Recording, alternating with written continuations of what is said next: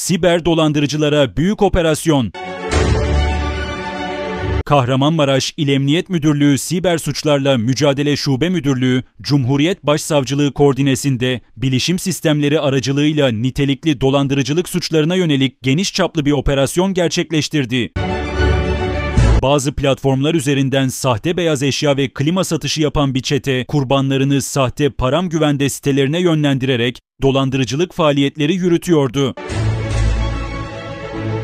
Yapılan incelemelerde şüphelilerin banka hesaplarında yaklaşık 10 milyon Türk lirası işlem hacmi olduğu tespit edildi.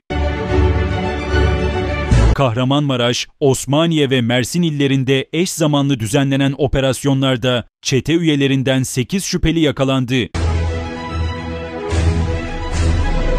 H, Ç ve Ö, E isimli iki şahsın hali hazırda cezaevinde olduğu belirlenirken, gözaltına alınan diğer 6 kişiden HK serbest bırakıldı. A, G'ye adli kontrol tedbiri uygulanırken M, A, G, G, A, G ve S, T tutuklanarak cezaevine gönderildi. Siber suçlarla mücadele ekipleri vatandaşları çevrimiçi alışverişlerde dikkatli olmaları ve güvenli olmayan bağlantılara tıklamamaları konusunda uyardı. Bu tür dolandırıcılık faaliyetlerinin önüne geçmek için bilinçli davranmanın önemine dikkat çekildi.